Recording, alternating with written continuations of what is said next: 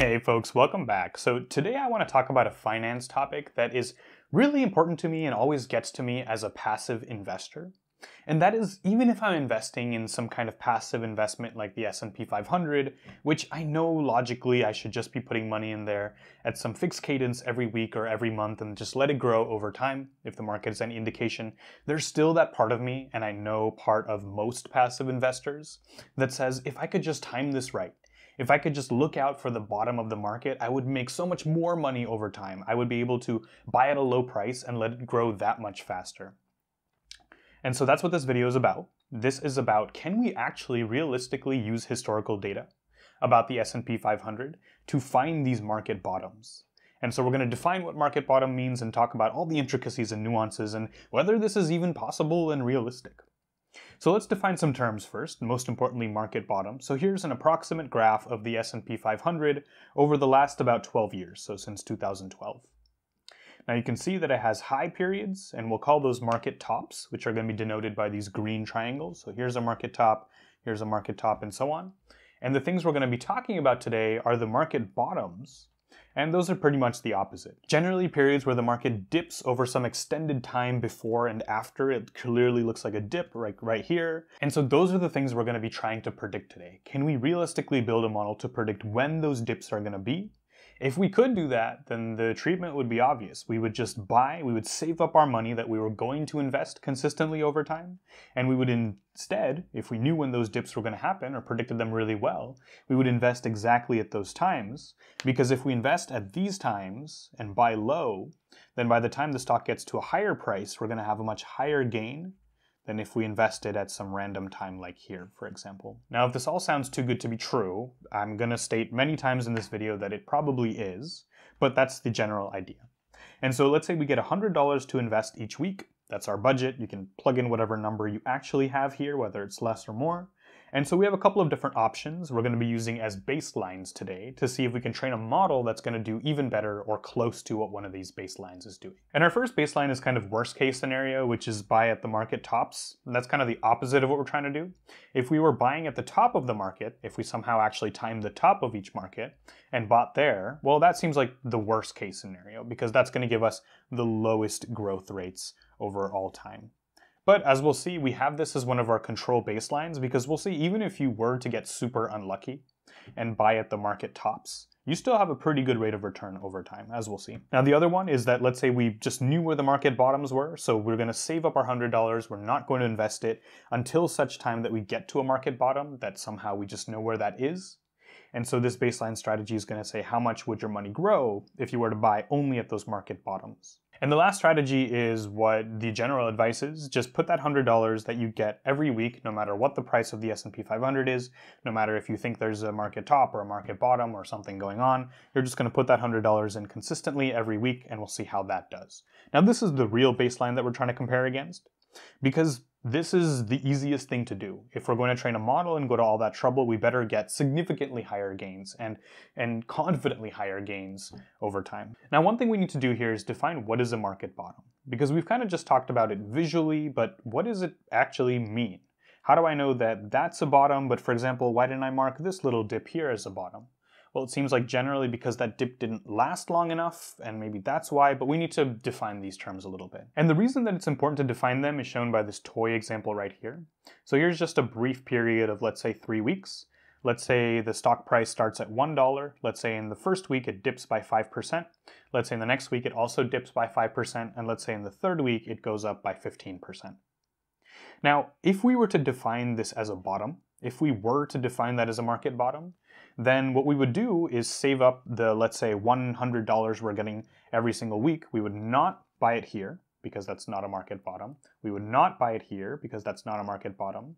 We would spend all $300 that we've accumulated so far right here, and that $300 would grow by 15%. So our rate of return would be 15% if we did consider this as a market bottom. If we, however, did not consider that as a market bottom, because if we were looking outside of this picture and if there was not so much indication that there was actually a bottom going on here, if we did not consider that a market bottom, then we would get a 0% gain because we would never actually invest our money because we didn't identify that as a bottom.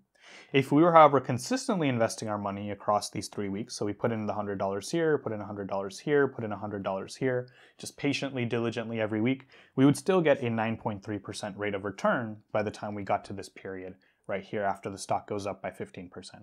So this is a toy example, but all this is to say that it's really important the time period we use to define what a market bottom is, both for our Oracle model here, which just somehow knows where the market bottoms are, but also for our machine learning model that we're going to train, because that's going to be defining the training data that goes into our model. That's going to be defining what the model is trying to learn in predicting a market bottom. So that's going to be probably the most important axis we'll look at today when we look at the results, which is do we define a market bottom as the lowest price of that stock within six months, looking forward and backward in time?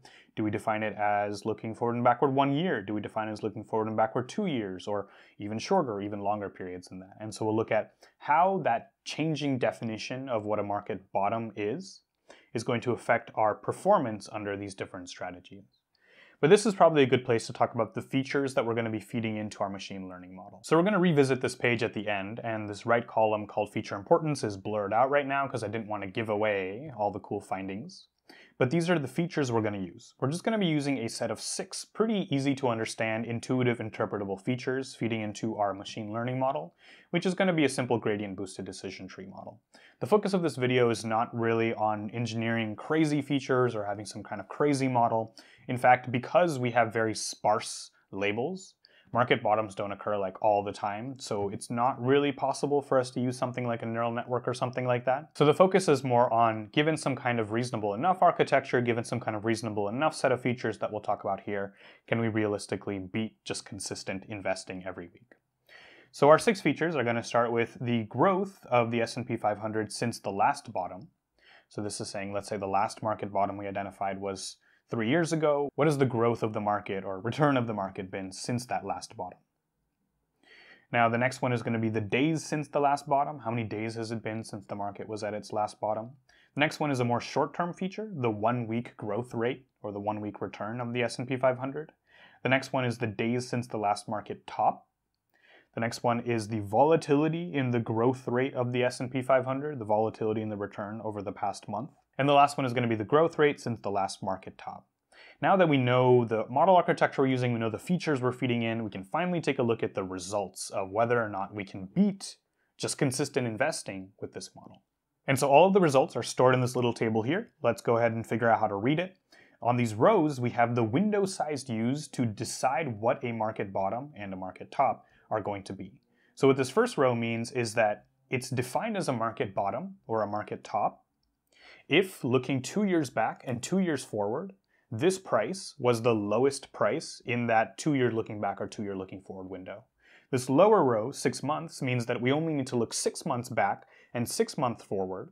And if that's the lowest price in that plus or minus six months window, then that's considered a market bottom.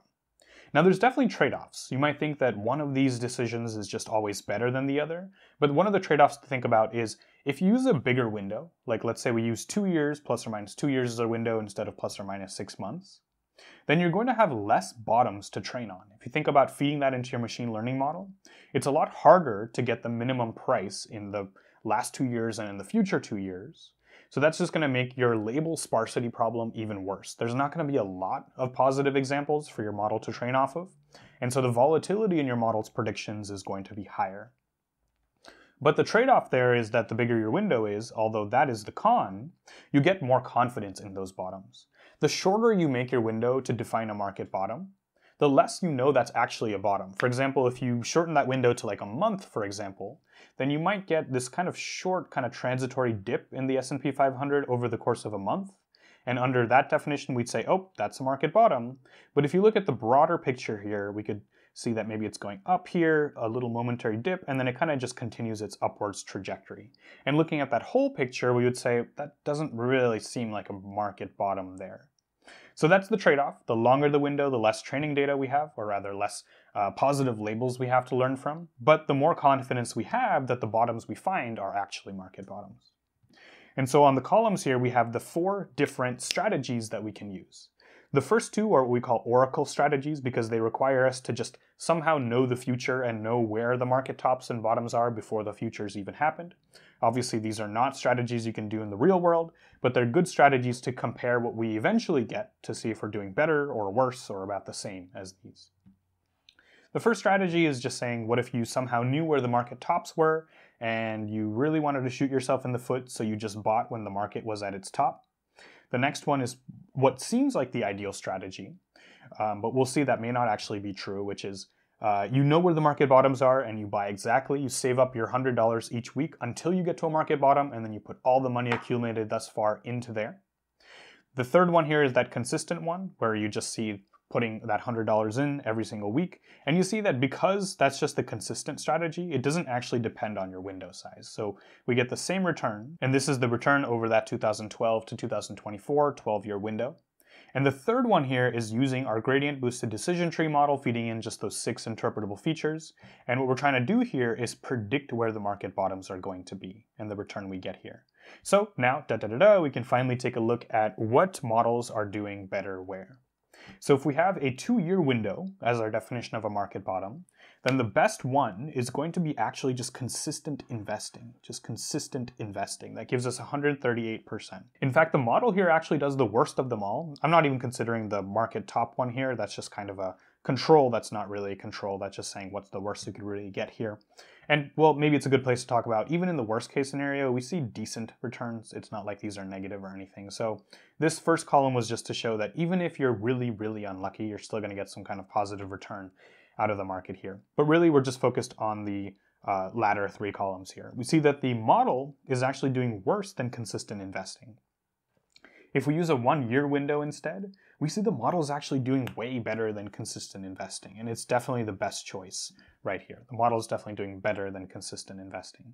If we use a six month window, the model is also doing better than consistent investing, but the ideal strategy here, even though we can't actually implement it in real life, is going to be knowing where the market bottoms are, and then buying at those bottoms. Ritvik from the edit here. I do apologize. Clearly the model's return of 162 in this case is higher than the 142 I circled, Call it just getting confused in the heat of the moment, but all the discussion that follows doesn't really depend on that choice. Everything should be the same from here on out. So this chart is just to show that it really depends on what you set your window as. If you decide your window is two years, one year, six months, and we could have chosen other things like five years, three months, one month, things in between these ranges here, it seems like it really shifts around which thing is going to do better. And so the main takeaway really, before we even get to the rest of this video, is that you could use a model and you could do better than just consistent investing. But the other thing that I haven't shown on this chart is what is the volatility around these model return numbers? And what I found is that if you just slightly tweak the parameters or the random seed inside your gradient boosted decision tree model, these things can often be lower than the consistent investing. Sometimes they're even higher than this. So there's just a lot of volatility. The standard deviation that we get from this model's returns are really, really, really high and in my opinion, not really worth it versus just already the pretty nice gains you're getting over this period via just consistent investing. It's one thing if consistent investing was giving you really poor returns, and the model is on average giving you something way higher, even though you have to accept this higher standard deviation to get it. But because the model, yes, could do better under very specific circumstances, but could also totally do worse under even slightly different circumstances, I would say my opinion here, based on the experimentation is that consistent investing is really the way to go here. It just depends on too many factors to feed them into a model, and I suspect this would continue being true even if you fed more features into your model, even if you use some kind of more complicated model architecture. Predicting market bottoms is by nature a difficult problem because there's not like market bottoms every couple weeks. Market bottoms by nature are called market bottoms because they occur on these kind of longer term draws of the economy. And so it's really difficult to know exactly when you're at one because there's not a lot of these things in the past to learn from even if you set your window size smaller and smaller. Now just for fun, because we did use a gradient boosted decision tree, one thing we can do in terms of interpretability is print out the first tree from the 500 trees that we had in the model. And this is the top of the first tree. It kind of continues down, but I didn't want to overcomplicate the page here. So we see that some of the questions being asked for the tree are, was the growth rate in the past week less than negative 5%? On the left, we have yes. On the right, we have no. If we go yes, then we ask, is the growth rate since the last bottom less than or equal to 12%? If the answer is yes, then we ask, is the growth rate since the last bottom actually very negative? Is it less than negative 38%? If the answer to that is yes, then the probability that we're at a market bottom, according to the model, is 41%. If the answer to that last question is no, then it's actually almost double. It's 72% here. And so the story there is kind of if you go again from the top to the bottom down this way of the tree, we're saying that the market has been kind of slipping a little bit in the last week. Yes, that's true. And if we go down here, we see that the growth rate since the last bottom is not too positive. We haven't grown too much since the last bottom. And this is really where the dichotomy happens, looking at these two probabilities. This is saying, was the growth rate since the bottom like super negative? And if the answer to that is yes, then we're probably not at the bottom yet. The model probably thinks there's more slipping to be done here because the growth rate has already gone down by so much. However, if we have some kind of growth rate since the last bottom between negative 38% and positive 12%, then we've definitely slipped since the last bottom, maybe have increased by a little bit up to 12%. And so it may be time, it's more probable that it's time here for a market bottom. And so that's what's going on here. So this is more to just to get a sense of how the model is thinking behind the scenes, taking a look at what kind of questions it's asking to actually come to its decisions. And now we're finally ready to go back to that feature importance chart and look at which of the six features we used are actually the most important in the model making its prediction. So we see the importance column here is now unhidden and they were ranked all along in terms of descending order. So the top two features seem to be the growth of the market, the return of the market since the last bottom, that accounts for 28% of the overall importance of all the features. And the next one, which is comparable, is the days since the last bottom. So these make a lot of sense to me because if you just look at a chart of the tops and bottoms of the S&P 500 over time, markets kind of happen as we talked about in these economic cycles. And so the number of days since the last bottom makes total sense as a good indicator of when the next bottom might be. And also pairing that with what's the actual growth, the return of the S&P 500 since that last bottom, this story makes a lot of sense.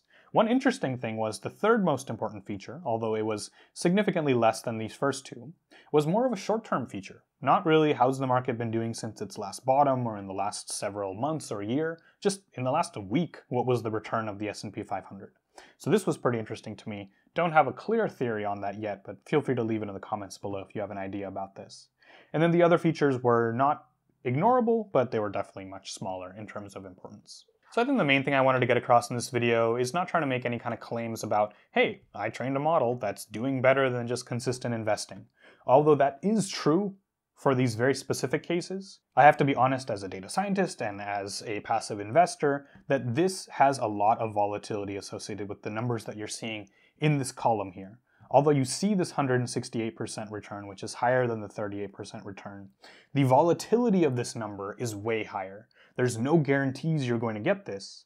Of course, there's no guarantees that you're going to get the 138 either, but the volatility around that is a lot smaller because it depends on less things. You're just investing $100 into the market every single week, and so there's less moving parts than with the model where you first have to define what a bottom is, what the window size is going to be. You have to decide how you're going to architecture the model, what the model is going to look like, which features you're going to use. So the volatility here, in my opinion, in my in this humble data scientist opinion, is not worth just the consistent investing already returns you're getting. And one interesting thing we didn't even talk about was in these first two cases, these first two rows, the consistent investing is already beating the case where you just magically know where the bottoms are. How is that happening? How is that possible? And that gets back to our first example where if we define the bottoms as being really long windows, then it's unlikely that we would actually define something like this as a bottom. And so we'd be saving up our money, saving up our money, looking for that market bottom, looking for that market bottom. And this is parallel to at least what happens to me when I go kind of off track my passive investing and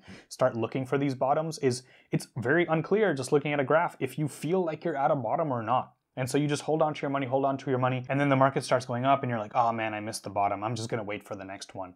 And but if you were just investing consistently that whole time, you'd be better off for it. So that really I think is the moral of the story. But hopefully you did enjoy the effort and the fact that we tried to build a model and it did do well under certain situations. So if you like this video, please like and subscribe for more videos just like this. Thank you so much. Have a good rest of your day, and I'll see all you wonderful people next time.